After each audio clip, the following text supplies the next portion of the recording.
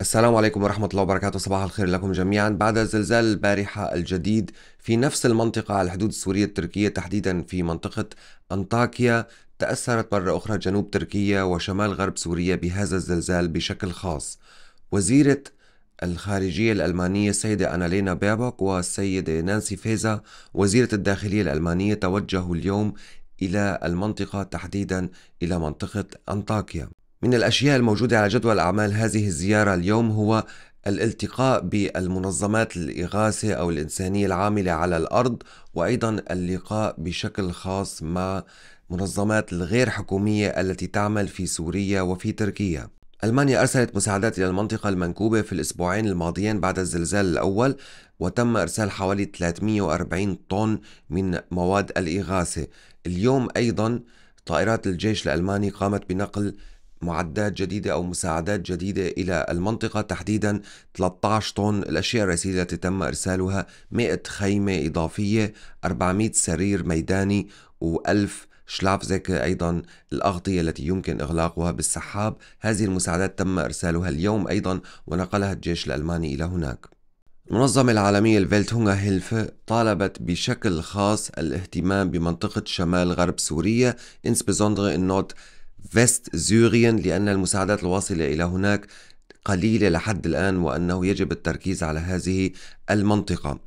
أيضا تم الحديث الآن عن زيارة لوزيرة الخارجية لمراكز منح الفيز. نعلم أن ألمانيا قامت بتخفيف بعض الشروط بالنسبة للمواطنين الأتراك بشكل خاص لمنح زيارة مدتها 90 يوم إلى ألمانيا.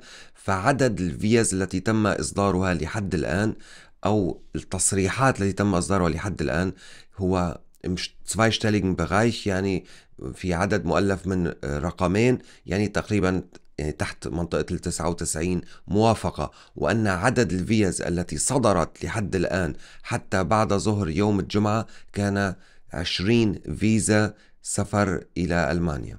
طبعا بالشروط المخففة التي تم الإعلان عنها فلكل الأحباء اللي بيتابعونا كمان اللي عنده تجربة إيجابية سواء بإرسال دعوة للزيارة إلى ألمانيا أو فيما يتعلق بتخفيف شروط الأخرى أخرى قلنا في لم الشمل وتقديم المواعيد. يا ريت ينقل لنا تجربته كمان على الصفحة والقناة مشان يستفيدوا بقية الناس. ننتقل إلى الموضوع التالي. رئيس وزراء مقاطعة نوردغاين فيستفالن السيد هندريك فيوست من حزب ال CDU أدلى بتصريح صحفي لصحيفة ال Rheinische Post قال فيها أو يعني كان واقعيا إلى حد بعيد في تصريحه وقال لنكن صريحين فإن معظم الناس الذين يأتون إلى ألمانيا اللاجئين سيبقون لمدة طويلة أو سيبقون للأبد هنا.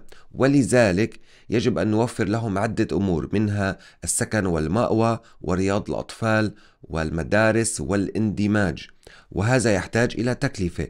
نعلم أنه قبل فترة كان هناك قمة للاجئين مع وزيرة الداخلية الألمانية السيدة نانسي فيزا البلديات والمقاطعات طالبت بمساعدات أكبر من الحكومة المركزية. والآن رئيس وزراء المقاطعة اعتبر أن عدد اللاجئين الواصلين الآن إلى ألمانيا أعلى من عام 2016 ومع ذلك الحكومة المركزية تساعد الآن بنسبة 20% فقط مقارنة مع 40% في ذلك الوقت وأن هذا يجب أن يتغير. وطالب بقمة أقوى وأكبر مع المستشار الألماني أولاف شولتز شخصياً. في الموضوع التالي في إطار الإضرابات الواسعة اللي بنشهدها في القطاع العام بكل مجالاته في الفترة الماضية سواء في الإدارات في المشافي في رياض الأطفال. أيضا اليوم إضرابات واسعة في شمال شرق ألمانيا في تحديدا مقاطعة مكلنبوغ فوبامان فتأثرت هناك عمل الإدارات بشكل كبير وأيضا رياض الأطفال. وتظاهر عدد كبير من الناس طبعا بدعوة من نقابة العمال فيردي التي تدعو الآن في الفترة الماضية لإضرابات واسعة في القطاع العام لرفع أجور العاملين في القطاع العام بنسبة 10.5% أو 500 يورو على الأقل. ومن المتوقع أن نشهد أيضا في الوقت القادم إضرابات واسعة لكل مجالات القطاع العام حتى يتم الاستجابة لمطالبهم. طبعا منها أيضا وسائل النقل اللي شفنا قبل فترة في مقاطعة نوتغايت بستفان تحديدا كان في شلل في حركة المواصلات. فالإضرابات مستمرة في ألمانيا للقطاع العام. في الموضوع التالي إحصائيات وأرقام مهمة لناخذ فكرة عن اللغة التي يتم التحدث بها في ألمانيا. بمناسبة اليوم العالمي للغة الأم المكتب الاتحادي للإحصاء ده Statistische Bundesamt أعلن عن الأرقام في ألمانيا. ناخذ فكرة عنها. 80% من الناس في ألمانيا يتحدثون بشكل رئيسي اللغة الألمانية في منازلهم في بيوتهم. 15% من الناس يتحدثون بجانب اللغة الألمانية. لغة أخرى يعني طبعا نعرف أن في ألمانيا العديد من المهاجرين أو الناس من أصل مهاجر وبالتالي 15% يتحدثون بجانب اللغة الألمانية لغة أخرى أو عدة لغات أخرى و5% فقط يتحدثون لغة أخرى غير الألمانية أو لغات أخرى غير الألمانية. الآن سنركز في الإحصائية على الأشخاص الذين يتحدثون عدة لغات في البيت فإن نسبة الثلث منهم يتحدث بشكل رئيسي اللغة الألمانية ولغات أخرى بجانب اللغة الألمانية ونسبة الثلثين يتحدثون بشكل رئيسي بلغات أخرى غير الألمانية طبعا في البيت. طبعا قلنا بالمجمل 5% من الناس لا يتحدثون اللغة الألمانية في بيتهم. طب ما هي اللغات الأخرى التي يتم التحدث بها إلى جانب اللغة الألمانية؟